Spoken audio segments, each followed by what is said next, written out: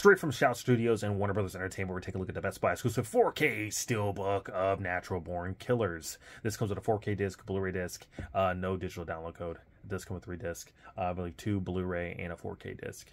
Uh, let's get this real quick. Uh, it's been a while since I have seen this movie. Uh, I do remember it was pretty, uh, pretty much a psychedelic experience, and uh, I was left pretty speechless after watching it. But uh, you have to watch it just to know what I mean.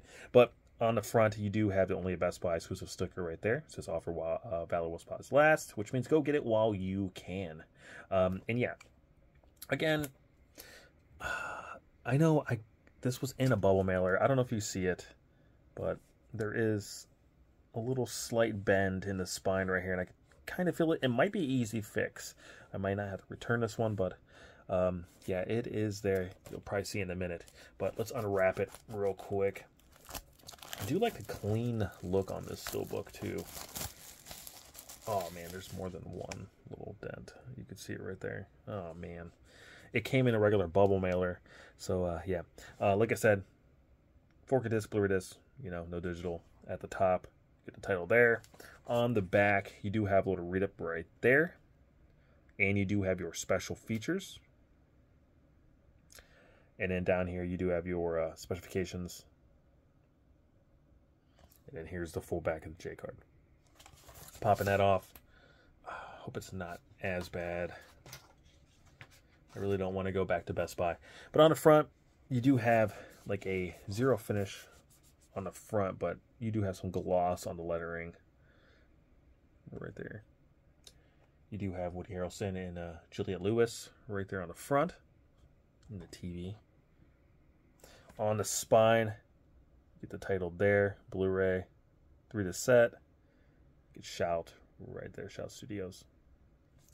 And then here is the back. The media made them superstars. The glasses there. Kind of. Uh, there's a little spot gloss there. But I don't know if you could see that little bend right here. That's a bummer how they just ship these out this way. But popping that open, you do have your uh, Blu-ray disc right here, and that has your director's cut with artwork, and I like how it's all different artwork too. And you do have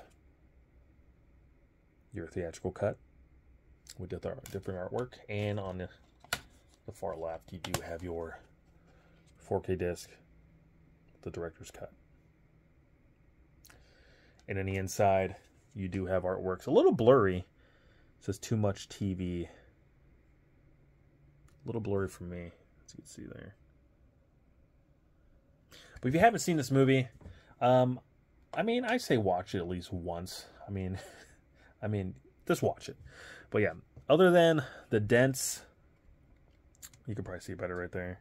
There you go other than the dents, um, yeah, not a bad pickup from Best Buy. Uh, remember, like, comment, and subscribe. Leave me a comment down below. Let me guys think if uh, you guys are going to pick this up. What do you thought about the movie? And uh, yeah, go over and follow me on TikTok and Instagram. And I'll catch you guys in the next video. Peace!